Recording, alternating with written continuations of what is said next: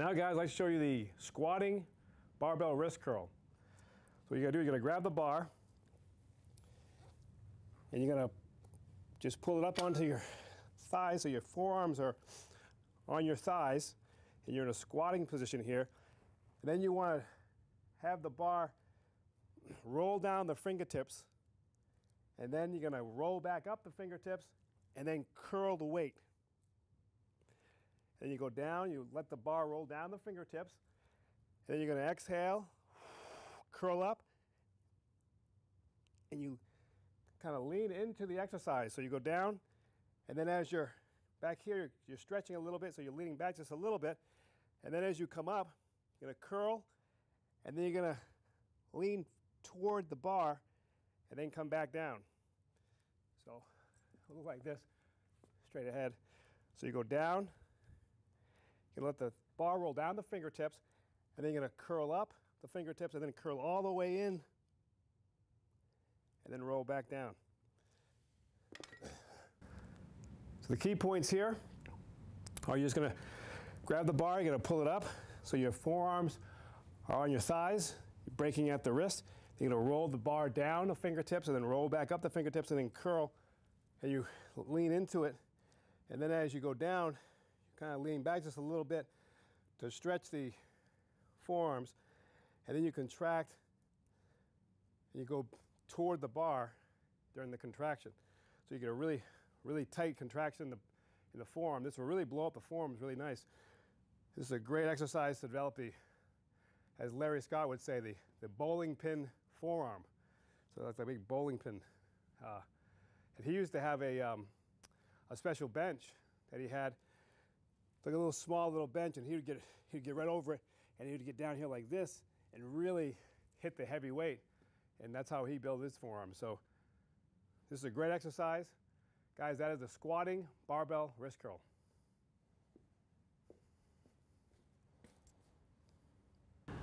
Now, guys, I'd like to show you the Zottman curl. Now, there's been a lot of controversy about this one.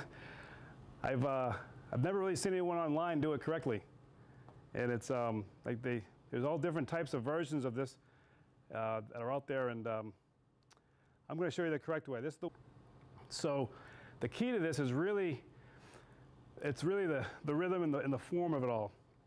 So what you do is you you're going to try to you're going to put your elbow close to your body, so it's kind of jammed into the side, and that's going to allow a little bit of leverage so that you can get into the movement and really start to work on the the forearm, especially the brachioradialis. So what you do is you want to kind of get into this, this sort of rhythmic pattern so the elbows are jammed into the side of your body and you're coming up and then you're going over and come up and you're going over. It's like a kind of like a figure eight pattern here. And then you're coming up. So you're pulling up here and so your elbows close to the side of your body. You're, you're going to sort of sweep your hips. it's like you're kind of getting your hips kind of into it. It's like, a, it's like a little bit of a dance, I guess. So you come up and you're going to, so you see my hip and the dumbbell kind of come up at the same time. See that? And then you're going to come up and then you transfer over to the exercise. I mean, so then you transfer over to the other arm.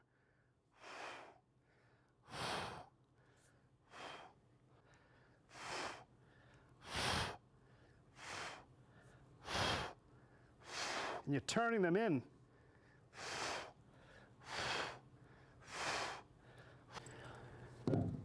And so the key points to this is it's really getting that rhythm. You know, I've seen so many different versions of this, variations or whatever, and it's just, you know, the idea is to, you want to kind of get into that rhythm.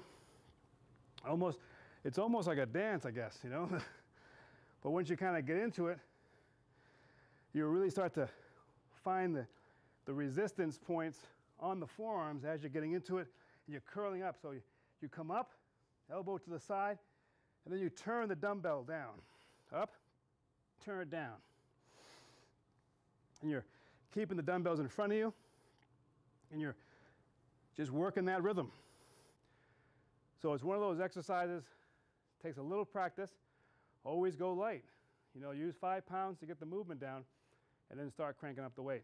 This is a really good one and you're gonna get an immediate effect on this. As soon as you're done with it, your forearms will be all big, pumped up. So it's a great exercise. Really gets that brachioradialis. Really nice, so it gets that nice sharp look to it. Guys, that is the Zottman curl. Now guys, I'm gonna show you the preacher bench reverse forearm curl. And this is a great exercise. It's a really develops the brachioradialis of the of the arm, and it requires a bench, a preacher bench like this. Um, you can use. It's it's hard to use on the on the preacher bench that you might see that goes straight down, and it's like a 70 degree angle. That that's just a little bit harder to to work with because the um, it just really cranks on your elbows. But this pad is nice and it's soft, so you can put your elbows right in there nice and uh, snug without any, any pain, and you can really work on the exercise without having to worry about um, hurting your elbows. Now, you want to stand behind the, the preacher bench, so we're not sitting down, and so you go into a staggered position with your feet so you can have support. So that way you can, you're kind of in control of the, of the, of the weight. Now, this is one of Larry Scott's favorite exercises, and he'd always incorporate this into his arm workout. And you can use pretty substantial weight on this. Um, for demonstration purposes, I always kind of use light weight just because it's easier for me to talk. It's rather, you know, doesn't make any sense for me to crank out heavy weight and go, you know, try, trying to talk and, and uh, discuss what I'm trying to do. So when you see me use uh, all these light weights, um, I'm, I'm just doing it for the demonstration. So anyways, you get the idea. So on this one, you want to use a, a diametric bar, and that's the bent bar um, configuration. And you're going to grab the bar right on the downslope here so that your, your thumbs are going to be higher than your pinkies. So that's, that's the optimal position. That's really going to isolate the brachioradialis. Now, you're to grab the weight, you're to gonna curl it up to get in position, support your elbows, and now you're in that sort of that um, staggered stance for, the, for, for leverage. And then you're to drop the bar down, so we're to extend it here. And so your arms are extended about 60 degrees, and then you're just to curl up. It's only about three or four inches of movement, and then back down. You come up, and right there. So it's that, just that three-fifths of the movement.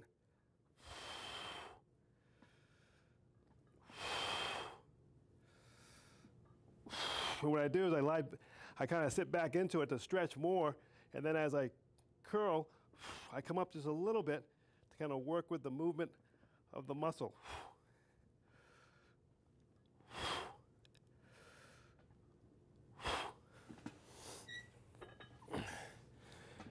The key points here is just keeping the arms straight at the beginning so you get that nice stretch. And then as you curl up, kind of following the pathway of the muscle, come back down, exhale, inhale, exhale. Now again, you can use, uh, as you develop this, you'll be able to use a lot of weight. If you ever see Larry Scott do it, he used a tremendous amount of weight and he would just crank that out. His forearms are huge. So this kind of helps create that like that bowling pin forearm, you know, just those huge forearms. And you'll feel this immediately. As soon as you get into it, you will feel that firing right off on the brachioradialis. It's a great exercise, and um, it's kind of a fun one. So guys, that is the, the preacher bench forearm curl. So guys, that is the preacher bench reverse forearm curl. Okay guys, now I want to show the thumb up curl. Now this one, gonna use dumbbells and we're gonna press the dumbbells down. So we're turning them down here. So the front of the dumbbell is pressed down.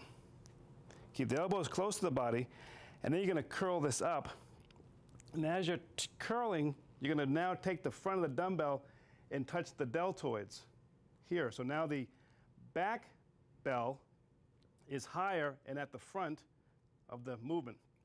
And you come back down, point the dumbbells down, exhale to the deltoid, keeping the elbows in, then come back down, point the dumbbells down, exhale, inhale, exhale. Inhale. Exhale. So it looks like this to the front. Press the dumbbells down. Exhale. Inhale. Exhale. Inhale. Exhale. And inhale. Now, the key here is to point the dumbbells down, keep the elbows close to the body, curl up, and as you come up, you're turning the front of the dumbbell down to touch the deltoid. What I do is when I return the weight back down, so I'll look up. So what I do is I go up, and I'll look up here, and then I'll stay here and let the stretch Inhale, exhale. So here, look, I look down, and then as I go down, I look up. Okay? So another little key point is when you're coming up, you're looking down, looking down on your forearms. And then as you go down, you're looking up. Exhale. Inhale. By looking up, what it does, it, it allows a greater stretch as you're going back down. So it's just a little simple little thing to do, but you can really get more out of it if you just look up just a little bit. It keeps your shoulders back, and you'll get more stretch on the forearms, and that's the key. So guys, that is the thumb up curl. Okay, now guys, I want to show you the, the burlesque bump. So in this particular program, it calls for just doing the, the second part of the sissy squat. So the, the actual sissy squat, there's three phases. There's the knee drop, then there's the burlesque bump, and then there's the flushing. And so there's those three parts incorporated, and it's a phenomenal leg workout. But on this volume, Vince just wants us to do the burlesque bump phase. And so I will demonstrate that. Um, we gotta use, you can use two by fours. I like to use an aerobic step that allows me to get a little bit deeper into the exercise. But the two by fours will work on this really well. So you wanna clean the bar up onto your shoulders so that you're kind of in this position like this so the elbows are up and you get support with the bar and the front deltoids. So you have to go down into that burlesque position. So you just go down here and then you're just gonna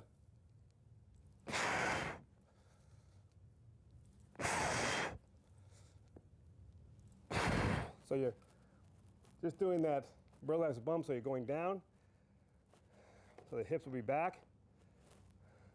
So down here, and then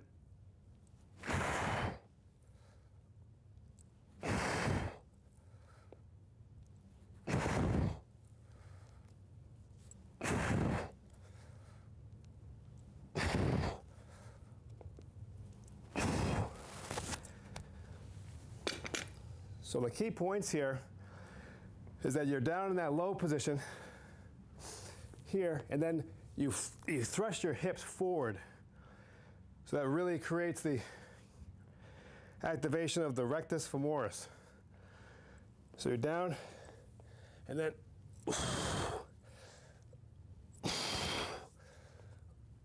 and you're thrusting those hips forward, and it really burns the quads. And again, we're not doing the full three phases. You know, we're not going to do the, the knee drop into the burlesque bump and then back up into that flushing position. So this is just the second part.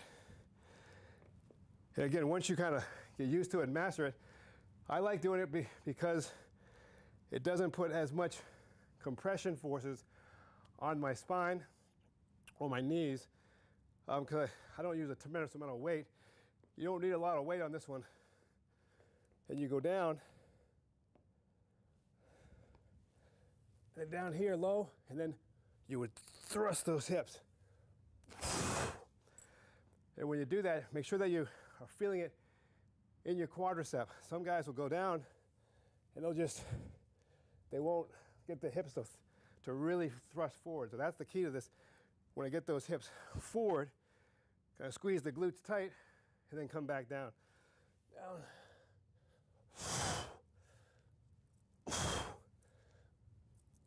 Just like that.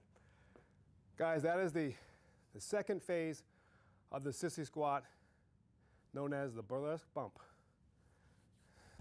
Now guys, I want to show you the frog squat. Now, there's been a lot of controversy with Vince and, and squatting and, and you hear all the stories online and everything about, you know, Vince never squatted and, and, uh, and so on. But you have to understand that Vince did do squats, but there were different styles of squatting. His idea was that if you did a regular Olympic barbell squat with a lot of weight, that it can, it can uh, change the, the, the, the symmetry of the body by creating a thick waist, big butt, and just kind of thick, uh, powerful uh, legs, but it would ruin the, the shape of, the, of that V taper. And so a lot of it was because of the activation of the glutes, and it, it would cause a disproportionate look to the physique. So that's where the controversy kind of lies. And so Vince always would do like front squats or, or uh, sissy squats and then like frog squats as a way to work the quadriceps without activating the glutes as much. So the, the, whole idea is really to emphasize the quadriceps to develop that nice sweep to the quads while still maintaining the V taper and the um, and, and good symmetry. So that's kind of like where Vince's mindset was uh, in terms of doing the, the Olympic barbell squat. So we're gonna do the, the frog squat. What you're gonna do, you're gonna clean this, the, the bar up, off, and then you're gonna, you're gonna kind of go into like a plie almost type of a, of a uh, style squat. So you're gonna bring your feet out wide, you see, and then you're gonna go down. We're gonna keep the back nice and straight. You're gonna go down, and then we're going to come up just halfway, and then we're going to go back down, and then all the way up. And so you go down, see the back straight, then you come back up, and then back down. You go down, come back up, and then down, all the way up. So you're squeezing your legs. So you're in this sort of plie sort of frog leg position. And then you go down, you're gonna get a really nice stretch to the adductors here. And so you go down, keep the back nice and straight, and then you just go up halfway, down, and then come all the way up. And as you're coming in, you're kind of, you're squeezing your legs in. So you're getting a great contraction, but a nice stretch at the, at the same time. So you're going down, you stretch, and then you come up right to here. So you're gonna really feel the outer sweep of the legs work. Go down, and then come right up into that squat position. Your, your legs are out wide. You got a good base. So it's when you turn your hips, you're keeping the glutes out of the, out of the equation here. You're gonna really emphasize the, the quadriceps. This is really gonna hit the vastus lateralis, really gets the outside sweep of the legs. And so it's just another great exercise. Guys, that is the frog squat. This is the decline bench dumbbell leg curl. This is one you don't really see a lot in gyms, um, but Vince liked, liked this one a lot, and it's one that he used to do all the time at his gym. And this is the actual decline bench from Vince's gym that I'll be demonstrating the exercise on. Now, this one's a little tricky. Um, it's hard to kind of get into. Sometimes it's best to have somebody to help you when you put the dumbbell on. Um, so I'll try to do my best to don't kill myself, but so it looks like this. You want to lie down, and then you're going to put the dumbbell in between your feet, and then you're going to curl up the dumbbell, trying to touch the hamstrings.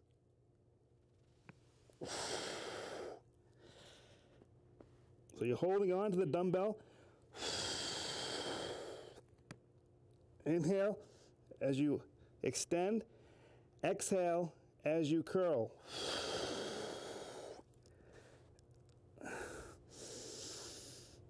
Exhale. Inhale. Exhale. And then come back down. Now, the cool thing about this bench, when you do that exercise, is that you can hold on. So, this was a great idea so that you can hold on, kind of pull yourself into it. Um, otherwise, just hold on to the side of the bench. Now, it's actually very difficult for me because of my leg.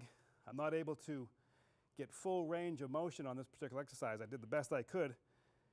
And also I have no, I have no feeling in my knee, so um, it's just difficult for me to do this one. But the idea is to curl all the way up and you would actually touch your hamstrings with the dumbbell. It's a little tricky to negotiate to get the dumbbell on your feet.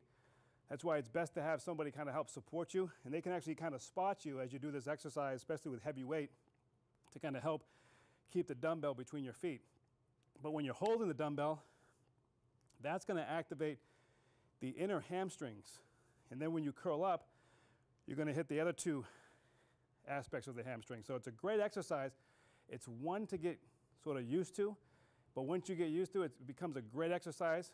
And um, it's just something different than just doing the regular, normal leg curl on a machine. So give it a try, guys. It has to be on a decline bench, and um, any decline bench will work. This one happens to work out really well because, again, I can have my arms kind of holding on and I can pull up. So it's a great idea, and it's kind of fun to do.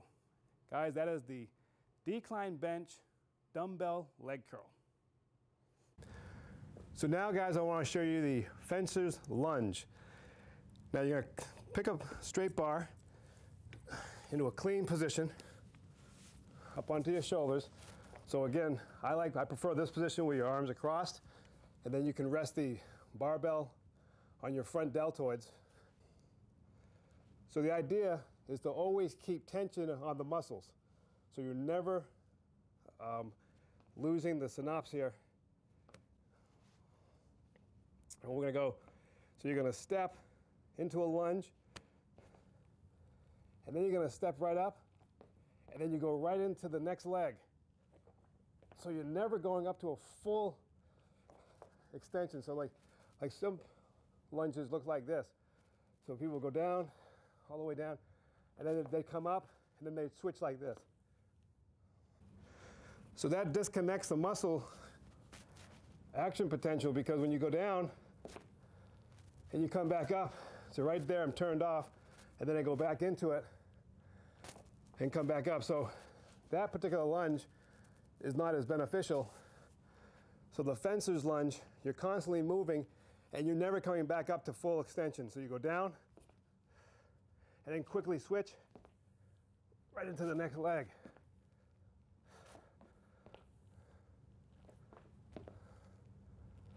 So you're constantly keeping tension on the legs at all times.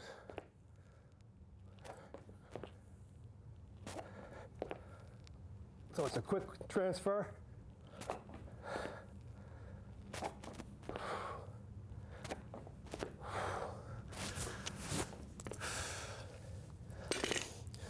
So the idea is that one, it's going to get your heart rate up, but you're going into the lunge, you're getting into the other leg quickly so that it kind of keeps a nice fluid flow going, as well as it's going to keep the, the engagement of those fast twitch fibers because you're constantly moving and you're activating that fast twitch mechanism that allows you to get that explosive power through your legs. And that's just a great exercise because it keeps you engaged. It's going to get your cardiovascular system and it just keeps the muscles firing the entire time. Guys, that is the fencer's lunge. Okay, now guys, I want to show you the donkey calf raise. Now, you can do this with a partner, training partner. What they would do is they, they would just sit sit on your back while you did the exercise. But I have a machine that allows me to do the, the exercise um, without having to have someone jump on my back. So this is the donkey calf raise. And again, just do the best you can with uh, what you have. And again, if you have a partner, or you can use, um, if you have a weighted belt, you can do that as well. So I get down, then this goes up onto my back.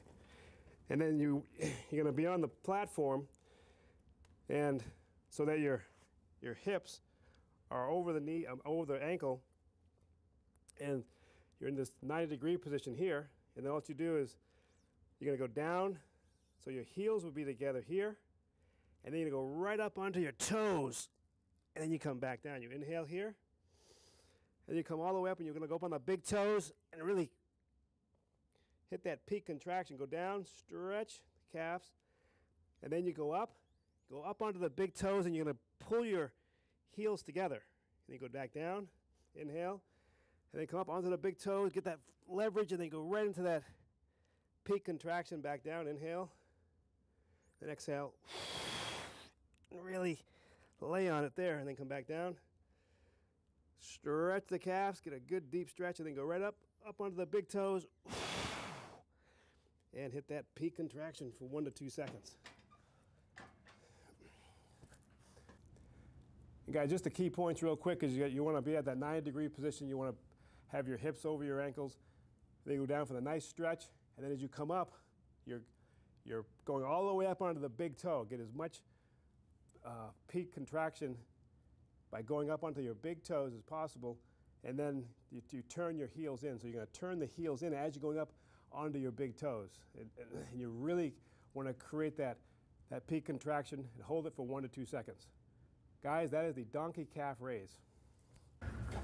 Okay, now guys, I want to show you the 45 degree toe leg press. So you want to be in a, on a leg press machine that allows you to have the ability to do a calf raise here at the, so you're gonna lie down on a leg press machine and obviously shoes are off. Always wanna work your calves and bare feet. Or if you have really soft shoes, I do have some like sort of moccasin kind of type of shoes or boxing or karate shoes and, the, and these are really soft so these would work really well. But I always prefer doing the calf exercises with my bare feet anyways. So all you're gonna do is just allow the bar, I mean, the, allow the, the carriage to come down so you're stretching your calves and then you're gonna press up and as you press up, you wanna go up onto the big part of the toes. So you're, you're putting all your weight to the big toes. And so the, your heels come together. Come back down, exhale, and again, you're pressing everything into the big toe. And then you come back down, stretch, and then you exhale, and you go to the, that peak contraction, and then you bring your heels together and you come back down. And so you want to just create as much power as you can by just really pushing as hard onto the platform as possible onto the big toes, and you'll get a tremendous pump in the calf. And you come down, stretch, and contract. And guys, that is the 45 degree toe leg press. Now guys, I'm gonna show you the Howarth toe raise. And what you want to do, you want to be on a, a Smith machine. That will help a lot because this would be very difficult to do with just a free weight bar. I don't think you can do it. And you want to place the calf block 12 inches behind the bar. And we're going to place our feet four inches wide, just a little bit flared out. And you're to place the bar on your shoulders. So you're going to be in a forward position. And then you're to go down and you're to stretch the calves. And then as you come up, you're to go right up onto the big toes. So you're to bring your heels together. You're to go down. You're to exhale and go to that peak contraction, going up onto the big toes, pressing your heels together. So you go down, inhale, stretch, and then you go up and contract. So you're kind of coming forward a little bit. Inhale, and then exhale, and really lay on that contraction, and then come back down. Inhale, exhale, and contract. So in this particular volume, Vince has us do this, and then he suggests that you bring the, the calf block underneath the shoulders, and you add a little bit more weight to the bar, and then you would do a straight up and down raise, toe raise, coming up doing the same fashion, on your big toes, and then you're gonna do heavy weight, and you're gonna do burns. So the burns would just be you know, you're gonna go down almost like you're kind of bouncing a little bit, but just getting just like that. So you'd be cranking out that heavy weight on that final set. So you would do the, the Howarth toe raise for the, the right amount of reps and sets, and then you immediately just shift the bar, I mean the, the block underneath the bar, put some heavy weight on there, and then do some burns to finish it out. And it's a, it's a great combination and man, that really blows up the calves, really nice. Guys, that is the Howarth toe raise. So there you have it, guys. Those are the exercises that are in volume five. If you have any questions would like more information on my programs, you can check me out on my website at www.darylconant.com. I want to thank you very much for watching. Take care. See you next time.